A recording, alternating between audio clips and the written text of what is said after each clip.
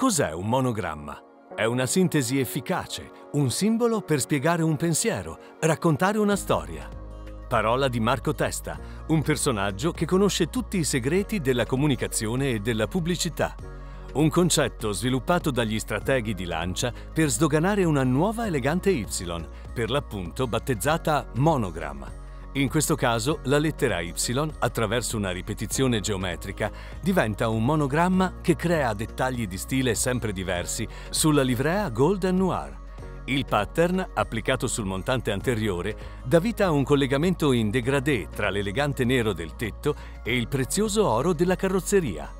All'interno il logo Y ricamato sui poggiatesta, il climatizzatore, il volante in pelle, la DAB radio per avere una qualità del suono superiore uniscono tecnologia a comfort e a stile.